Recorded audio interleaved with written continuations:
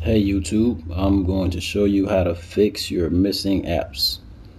That's right, if you're like me, I downloaded 3.0 and I forgot to take, you know, things like stocks, iTunes, and you know, weather out of those folders. And so uh, when I when I did the update, all those things were missing. Only thing I can't show you how to get back is settings because you need settings uh, in order to do the fix to get the other ones back. All right, what I have here is just an iPhone 2G uh, just has a little skin on it. Skin is 20 bucks, by the way. It's gold plated. Uh, it's been on there for about six months. If uh, you want to know where to get it, just message me. And I'll tell you how to get one. See the Buccaneers logo. Makes any NBA and NFL teams if you're interested. All right, so I'll go ahead and turn it on here.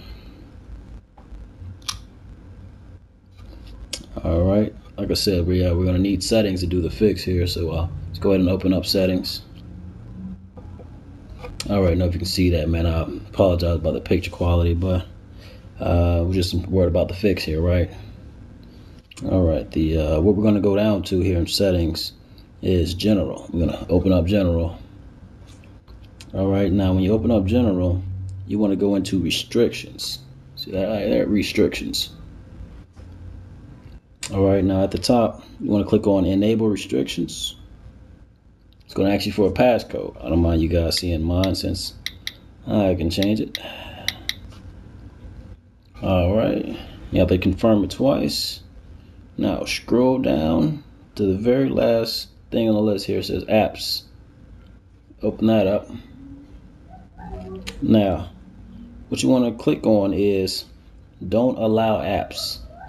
Very one at the top, very first one here at the top. Click on don't allow apps all right then uh, you want to back out. Back out again to general. Hit the home button. Now restart the iPhone. You want to shut it completely down. All right I'll go ahead and turn mine off with you. Completely blank here you see. PlayStation camera by the way you can see the blue and red light. All right uh, mine's still turning off. It's been like that since I updated here. It takes a while to turn off.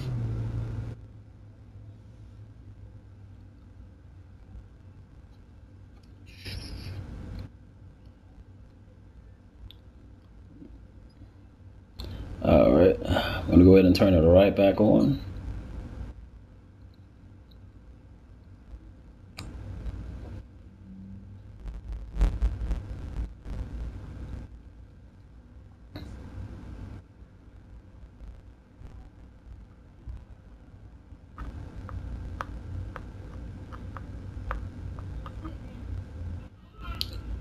Taking even longer to turn back on. Look at that.